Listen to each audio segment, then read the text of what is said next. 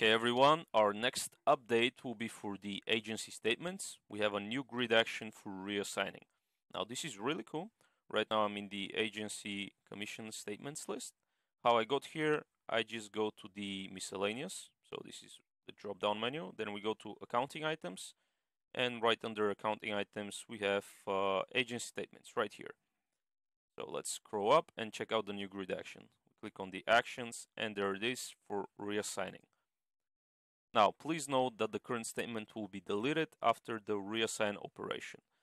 And then we click on the drop down menu and from here we can choose who to reassign it to.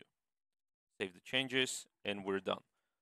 This is a really nice change, a really easy way to reassign your commission statements. So well done to the development team. Once again, I don't say this enough, but they're doing great work on this. And we have a couple of more awesome updates, three uh, to be specific, which I'll cover in the next videos. See you then.